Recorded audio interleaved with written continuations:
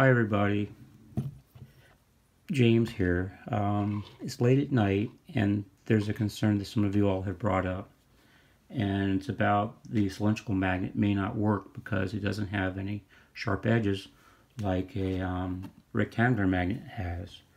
And I think it's a valid point. So before we start building this electric motor, for those of you who are following on, along, um, I want to propose that we just simply build the preliminary stage in a test in such a way that we can see if there's any fallacy to my thinking. I truly believe that what's going to happen is that instead of needing this as a drive, a rectangular magnet to drive the, so the drive coil will make this turn in circles, I believe the cylindrical magnet will work, and here's why.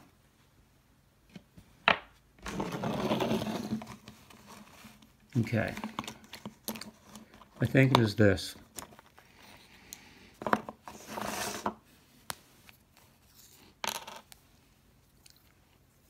I have put these markers on this. You can see here, little red marks on here. I know the lighting's not very good in here. I apologize.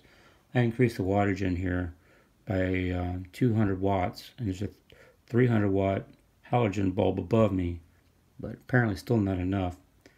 Um, I'll add more light in. So let's call this 12 o'clock, 3 o'clock, 9 o'clock, and then underneath here at the bottom, 6 o'clock. And this is my thinking. This is where, in the middle, the north and south begin and end. Now, I didn't actually put this where it really does. I, did, I just kind of put these on here wherever I just happen to put them. But at the 8 and I mean 9, 3, 12, and 6 o'clock positions. So my thinking is this. If this B was the valley, which is the low point of the transition between the two polarities, and this over here is the peak or the high point, when you energize the coil, and as you can see, it's going to be nice and narrow coil. When we energize the coil, if we did it like this, right there at the peak, it's not going to torque the magnet in such a way to make it turn. So you have to offset the drive coil. And I'm thinking the best spot is going to be at the 2 o'clock and 8 o'clock position, just before the 3 o'clock peak position. And it should be more than enough to jerk, pull, attract this magnet to its center position. And then, of course, the drive coil cuts off just as fast as it came on. So when this magnet swings around to find the center position of the drive coil, um, it won't be there because it'll be turned off.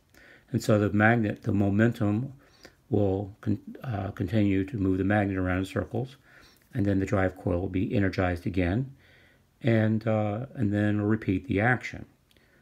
So if there's no fallacy to my thinking, this should indeed work. Okay? Now, above and beyond this, what I'm thinking here, this is why I believe this whole thing will work, is that when you put this in here, and then, you know, this, by the way, won't be used for the final uh, project. But when you put this in here and you have the primary coil wire wrapped around this, around and around and around, and then we're going to make two more small coils of wire for pickup coils. We'll put one on the front, and actually can go inside because there's extra room.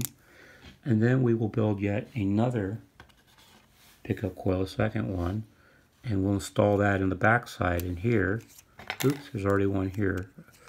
Um, then we'll have a pickup coil here, a pickup coil here, and then the other one that goes around and around the outer motor casing.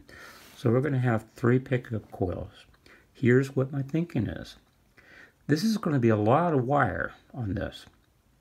And it's going to be putting out a lot of energy once this magnet gets spinning. My thinking is this.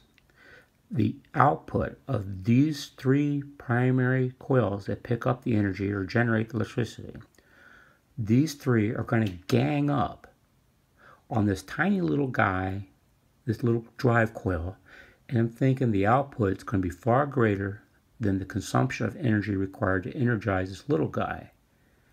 So um, I don't know if aspect ratio is a good term or not, but the ratio I believe is going to be far greater output than the input required to, to energize this coil to kick this magnet around and around and around.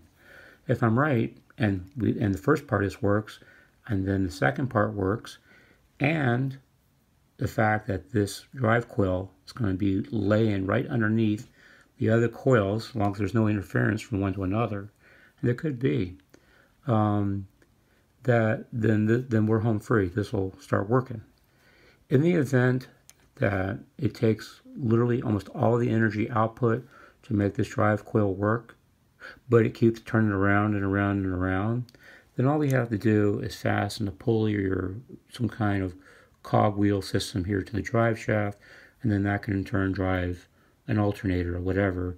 It can make these bigger so you have one horsepower motors, three horsepower, seven horsepower, whatever. So, if there's no fallacy to my thinking, then this will work. We will we will see. I also want to give a quick little shout out to Vinesh. I'm not sure if I'm saying your name right, Vinesh. It's, he spells it V I G H N E S H, Vinesh Peters. The reason I bring up his name is that we've been working behind the scenes um, uh, with the magnet wheel, where it's just strictly magnets powering other magnets. And he's been absolutely instrumental in various ways, especially with 3D animation, uh, uh, graphics that just helps to really visualize what's going on here.